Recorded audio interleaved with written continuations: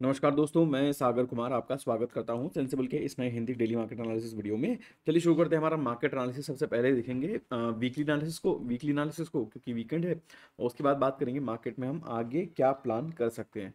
तो अभी आप अगर लास्ट ये जो फ्राइडे वाला जो कैंडल है, उसको देखोगे तो फ्राइडे वाले दिन मार्केट में सेलिंग आकर मार्केट ने एक इस तरीके का इन्वर्टेड हैमर ये एक हमें क्लोज प्रोवाइड किया है वीकली चार्ट ठीक है?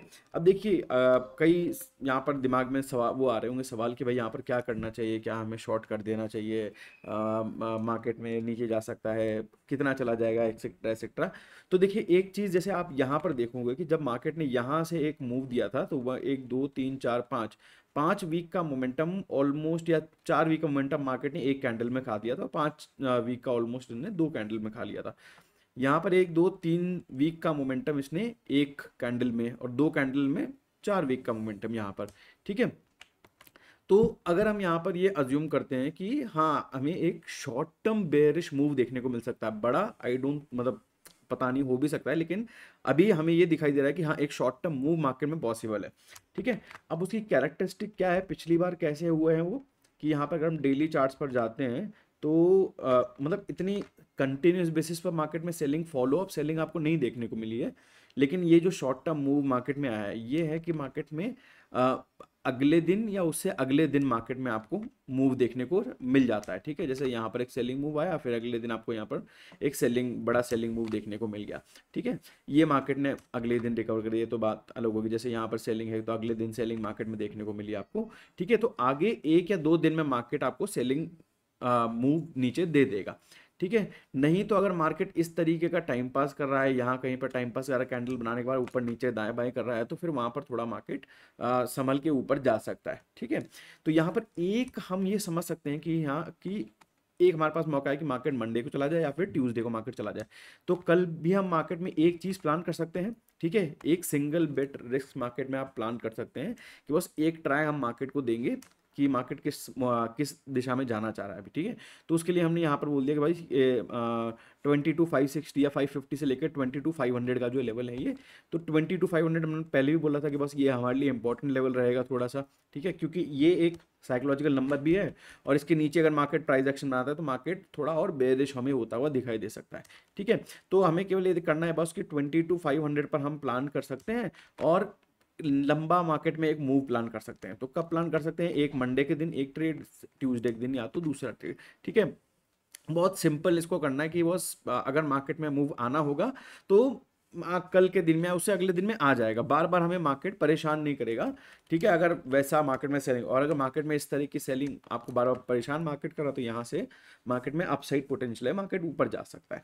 ठीक है, सिंपल सा ये थ्योरी रखेंगे। तो अगर इसके नीचे हमें मार्केट जाता हुआ दिखाई देता है, ट्वेंटी टू फाइव हंड्रेड का अगर नीचे मार्केट चलता है, ठीक है तो यहाँ से हम मार्केट में प्लान कर सकते हैं बेरिश ट्रेड प्लान करी जा सकती है। लेकिन मान लीजिए फिर से वो अगर ऊपर आ जाता है तो यहाँ पर हम फिर एस एल एस एल से उसको निकाल देंगे और बोल देंगे कि हाँ बॉस आज मार्केट नहीं गया नीचे। क्योंकि फिर मार्केट अगर यहाँ से तोड़ने के बाद मार्केट फिर से इतना ऊपर चला जा रहा है। तो फिर ये पूरा ये जो डीप जो मार्केट करेक्शन करने वाला है, उसको ऑलमोस्ट मार्केट ने more than forty fifty percent अगर कवर कर लेगा तो फिर फिर उतना स्ट्रेंथ नहीं बचेगा वापस मार्केट नीचे आएगा तो फिर वापस यहाँ पर सपोर्ट अपोर्ट ले सकता है। तो फिर हम यहाँ पर एग्जिट कर जाएँगे स्टॉप लॉस के साथ कि हाँ वो हमारा यहाँ पर जो हमने सोचा था वो एनालिसिस नहीं चल रहा है। फिर हम वेट एंड वॉच करेंगे कि हाँ यहाँ पर क्या और हो सकता है। और अगर कल मार्केट मूव करना होगा तो इस जोन में हम प्लान करेंगे। अगर मार्केट नीचे क्लोज दे दे तो हम कैरी करेंगे अपना ट्रेड नहीं तो आ, देख लेंगे क्लोज कर देंगे। ठीक है? और दूसरी बात एक और चीज़ मैंने नोटिस करी मैं आबिद का एनालिसिस देख रहा था उसमें मैंने नोटिस करा कि उन्होंने एक चैनल सॉर्ट ऑफ़ बनाया हुआ है। ठीक है? इस तरीके का ये एक चैनल यहाँ पर लोगों ने बनाया है यही था कि नहीं था? हाँ यही था यस ये एक चैनल हमने इन्होंने बना रखा था। एक आपको याद हुआ एक चैनल हम लोगों ने पहले बनाया हुआ था मार्केट में कि ये वाला चैनल यहाँ से ये वाला ये वाला सॉर्ट ऑफ़ चैनल हमने मार्केट में बनाया था कि पहले मार्केट अपसाइड पर उसमें चल रहा है। अपसाइड मिडिल लाइन के आ, जो ये मिडिल लाइन है इसके ऊपर चल रहा है यहाँ से नीचे चलेगा फिर यहाँ से एक अपसाइड पर मूव हमें देखने को मिल सकता है। तो मार्केट ने ये यहाँ पर इस तरीके से इसको तोड़ा था। अभी ये इतना ये वाला चैनल इतना रेलिवेंट नहीं रहा है, लेकिन अभी आप ये वाला चैनल देखोगे तो थोड़ा समझ में आ रहा है कि मे भी यहाँ पर एक मार्केट एक रेजिस्टेंस ले सकता है, ये तीन पॉइंट को या ये दो पॉइंट को और नीचे ये दो पॉइंट को कनेक्ट करके मार्केट ने बनाया। ठीक है? तो अगर इसको यहाँ पर ये चैनल के नीचे जाना होगा ना तो यहाँ पर ये फिर एक क्लोजिंग स्ट्रॉन्ग नीचे दे देगा। ठीक है? फिर ये कोशिश करेगा लोअर पार्ट ऑफ़ चैनल तक जाने के लिए अगर मिडिल पार्ट इसने निकाल दिया तो। क्योंकि यहाँ पर देखेंगे आप थोड़ा मिडिल पार्ट के ऊपर ट्रेड कर रहा था सपोर्ट लिया है इसने। यहाँ पर थोड़ा सा स्क्यूड चार्ट है, पहले मार्केट अप साइड पर गया, फिर नीचे गया। ठीक है? तो ये रहेगा मार्केट में अगर इसको लोअर चैनल क्योंकि इतना बड़ा चैनल भी नहीं है कि इसका मिडिल मार्केट में देखा जाए या फिर एक हालाँकि यहाँ दो तीन जगह मिल तो रहा है, लेकिन ठीक है, अगर मार्केट को यहाँ से नीचे जाना होगा तो एक मिडिल के नीचे मार्केट इस तरीके से क्लोज देना चाहेगा, अगर मार्केट में एक शार्प सेलिंग हमें देखने को मिलेगी तो। ठीक है तो कुल मिला के एक फॉलोअप हमें मार्केट में देखने को मिल सकता है। अभी बैंक निफ्टी में भी अगर हम बात करेंगे तो यही अपसाइड चैनल के आसपास मार्केट थोड़ा रेजिस्टेंस ले रहा है। मेरी एक्सपेक्टेशन थी कि मार्केट थोड़ा और ऊपर जाकर यहाँ से थोड़ा सा रेजिस्टेंस लेगा या यहाँ फिर और ऊपर जाकर थोड़ा सा रेजिस्टेंस लेगा। ये मेरी एक्सपेक्टेशन थी, लेकिन मार्केट ने फोर्टी नाइन थाउज़ेंड के आसपास से मार्केट में रेजिस्टेंस लिया बैंक निफ्टी ने। तो यहाँ से सिंपल यहाँ पर भी हम वही वही चीज़ प्लान करेंगे। अगर मार्केट को नीचे आना होगा तो यहाँ से फोर्टी एट फाइव हंड्रेड का level forty eight five hundred के लेवल के नीचे हम मार्केट में प्लान कर सकते हैं और अगर मार्केट में अगर मान लीजिए अच्छा मूव है डाउन साइड में मिल जाता है तो फिर मार्केट में हम उस चीज़ को कैरी करेंगे। नहीं तो अगर मार्केट वापस ऊपर आ जाता है या फिर यहाँ से ऊपर आ जाता है तो हम मार्केट में अपनी ट्रेड्स को स्क्वायर ऑफ़ कर देंगे। ठीक है? अब यहाँ पर अगर जैसे मान लीजिए इंट्राडे की बात करी जाए कि इंट्राडे में मार्केट में तो ये फ्लैट जोन एक ओपन हो जाएगा हमारा, जहाँ पर अगर मार्केट ओपन होता है डाउन साइड पर जाता है तो एक हमारे लिए सबसे बेस्ट अच्छी प्रोबेबिलिटी वाली ट्रेड ये रहेगी। और अगर मार्केट यहाँ कहीं पे गैप अप अगर ओपन हो जाता है इस जगह पे गैप ओपन हो जाता है तो फिर ये फिर से नो ट्रेड जोन में चला जाएगा। यहाँ पर फिर कोई ट्रेड प्लान नहीं होगी। और अगर मार्केट थोड़ा नीचे गैप डाउन खुलता है तो यहाँ पर थोड़ा हमें प्राइस एक्शन देखना पड़ेगा कि क्या मार्केट थोड़ा रिकवरी के लिए ऊपर जा रहा है, या फिर यहीं से मार्केट कुछ इस तरीके से, या फिर इस तरीके से मार्केट नीचे आ रहा है। ये थोड़ा प्राइस एक्शन हमें ये तीनों देखने पड़ेंगे कि मार्केट कैसे जा रहा है। ठीक है? और अगर निफ्टी में बात करी जाए तो सिमिलर यही रहेगा लेकिन बस मेरे को ना कंसर्न एक ही चीज़ कर रही है कि मार्केट में ना सेलिंग ना नहीं बहुत फास्ट हुई है, बहुत तेज़ सेलिंग हुई है। तो ये ना, ये सेलिंग ज़्यादातर अच्छी नहीं रहती है। अच्छी इन द सेंस फिर मार्केट क्या ना कि इस, इन लेवल से ऊपर निकलने के लिए फिर मार्केट में एक दो दिन, तीन दिन लग जाते हैं मार्केट को। ठीक है? जैसे हर बार जैसे यहाँ पर भी मार्केट में एक एंड ऑफ़ द डे पर भी एक सेलिंग आई, लेकिन फिर मार्केट को एक और ये पूरा दूसरा दिन, फिर ये तीसरे दिन के आसपास जाके मार्केट इसके ऊपर निकल पाया, ठीक है? तो ये थोड़ा सा मार्केट के लिए प्रॉब्लम क्रिएट कर जाती है। जितनी शार्प सेलिंग अगर होती है मार्केट में, तब जैसे ये देखिए, ये एक शार्प सेलिंग फिर मार्केट स्ट्रगल करता रह जाता है नीचे साइड पर तो थोड़ा है ना, अब ये ये जोन अब हमारे लिए हो गया है कि बस ट्वेंटी टू सेवन हंड्रेड के ऊपर ही हम बाइंग के लिए कुछ सोच सकते हैं। इसके ऊपर अभी हम बाइंग के लिए नहीं सोचेंगे। या फिर हमें निचले स्तर पर अगर मार्केट में फिर यहाँ कहीं पर निचले स्तर पर जाकर चैनल के आसपास कोई प्राइस एक्शन या मिडिल पार्ट के आसपास कोई प्राइस एक्शन दिखाई देता है तो फिर हम सोचेंगे कि हाँ यहाँ पर क्या कर सकते हैं। ठीक है? यहाँ पर भी गैप अप अगर ओपन होता है तो ये फिर नो ट्रेड जोन में चला जाएगा, ठीक है? और अगर गैप डाउन ओपन होता है तो फिर प्राइस एक्शन हमें देखना पड़ेगा, ठीक है? निफ्टी अगर देखेंगे तो ट्वेंटी टू सेवन हंड्रेड पर स्ट्रॉन्ग रेजिस्टेंस है। हाँ वो तो होना ही था क्योंकि वहीं से ही मार्केट ये ये जो स्विंग बना है, ये रिटर्न हुआ है वहीं से एग्जैक्ट ठीक है? और बैंक निफ्टी अगर देखेंगे तो forty nine thousand round number है, इसलिए वो नंबर होना ही था, ठीक है? फोर्टी नाइन थाउज़ेंड से ही मार्केट नीचे गिरा।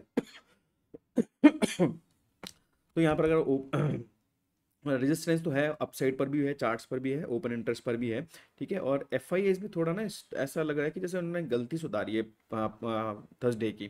जैसे यहाँ पर आप देखेंगे कि कॉल सेल हुए हैं और पुट्स यहाँ पे भी कॉल पुट दोनों सेल हुए। लेकिन जैसे यहाँ पर देखोगे, आप तो 400 करोड़ का कल बाइंग किया, उसका आधा यहाँ पर समेट लिया आज की दो दो हज़ार करोड़ का सॉरी चार हज़ार करोड़ का बाइंग किया, आज दो हज़ार करोड़ का बेच दिया। तो ऐसा लग रहा है कि कल का पूरा वो आधा कर दिया है। और वैसे यहाँ पर आप पोजिशन देखोगे तो ये काफ़ी अभी बेरिश हो गई है। कॉल्स ज़्यादा सेल करे गए हैं पुट्स के मुकाबले। तो थोड़ा एफ़ भी बेरिश सॉर्ट ऑफ़ दिखा रहे हैं। प्रोज भी थोड़ा बे हाँ प्रोज भी काफ़ी बेरिशी दिखा रहे हैं कि यहाँ पर नेट ओपन इंटरेस्ट में भी पुट्स बाय कर रखे हैं और फ्यूचर्स में सेलिंग हुआ है। तो थोड़ा ये थोड़ा चिंता का विषय है मेरे को लग रहा है कि यहाँ से मार्केट को थोड़ा शार्प में भी मार्केट करेक्ट हो सकता है। तो अगर मार्केट को जाना होगा ना तो हमारे लिए बहुत आसान सिचुएशन है अभी यहाँ पर कि हम एक अगर मार्केट को जाना होगा ना, तुरंत मार्केट चला जाएगा, कुछ भी टाइम पास नहीं करेगा तो हमें ज़्यादा देर इंतज़ार भी नहीं करना पड़ेगा बॉस कि किस डायरेक्शन मार्केट जा रहा है। ठीक है? स्टॉप लॉस भी एकदम सिंपल रहेगा। अगर मार्केट वापस घूम के भी आपके वापस एंट्री पॉइंट के आसपास आ गया तो मतलब अभी टाइम है मार्केट में। नीचे इतना बड़ा मूव नहीं आएगा। फिर हम स्टॉप लॉस देके मार्केट से निकलेंगे। ठीक है दोस्तों? तो मेरे हिसाब से अभी निफ्टी बैंक निफ्टी दोनों में सेलिंग तो आई है से, अ, सेलिंग आई है और अ, अगर मार्केट में फॉलो अप देखने को मिलता है तो फिर से डीप करेक्शन हमें देखने को मिल सकता है। लेकिन यही है कि जैसे मार्केट कई टाइम से आप यही भी देख रहे हो ना कि अगर मार्केट नीचे भी जा रहा है ना तो ये चैनल के बीच में जब तक ये मार्केट रहेगा ना तो फिर उतने स्ट्रॉन्ग मूव्स पता नहीं मिले ना मिले थोड़ा संशय में रहता है। कि यार ये पिछला टाइम भी मार्केट ने ऐसे ही निकाल दिया ये भी ऐसे ही निकाल दिया यहाँ पर थोड़ा बहुत आपको सेल देखने को मिला है। तो यहाँ से मे भी मार्केट में एक और एक्सपेक्टेशन रख सकते हैं हम कि हाँ चलो देखते हैं मार्केट में सेल अगर होना होगा तो तुरंत हो जाएगा नहीं तो अगर फिर मार्केट को ऐसे ही टाइम पास करके ऐसे जाना होगा तो फिर मार्केट हमें उसी दिन आइडिया दे देगा कि हाँ यहाँ पर अभी स्कोप नहीं है स्टॉप लॉस हमारे हिट हो जाएँगे तो। अ, तो अ, ये तो बात रही निफ्टी और बैंक निफ्टी की बढ़ते हैं डॉलर की तरफ़। तो डॉलर अभी देखिए यही मतलब कोई भी जगह ढंग से प्राइस एक्शन ये भी फॉलो कर नहीं रहा है। ठीक है, यहाँ से मार्केट में नीचे गया फिर वापस यहाँ पर हाई पे चला हाई पे जा रहा है वापस। तो यहाँ पर मैं अभी यही कहूँगा, इसको तो मैं अवॉइड करने का ही सोचूँगा अभी तो मैं यहाँ पर ट्रेड नहीं करूँगा। कुल मिला के मैं समरी कर देता हूँ कि निफ्टी में अगर मार्केट से निफ्टी या बैंक निफ्टी दोनों में ही अगर मार्केट में हम प्लान कर सकते हैं एक शॉर्ट ट्रेड मतलब मार्केट में हम एक शॉर्ट ट्रेड प्लान कर सकते हैं। और अगर मार्केट को जाना होगा तो तुरंत चला जाएगा, अगर ये एक्चुअल सेलिंग होगी तो मार्केट रुकेगा नहीं ज़्यादा टाइम निकल जाएगा यहाँ से। और अगर यहाँ पर टाइम पास करता है मार्केट तो फिर हमें पता लग जाएगा कि हाँ एक अपसाइड यहाँ पर फिर से पोटेंशियल देखने को मिल सकता है।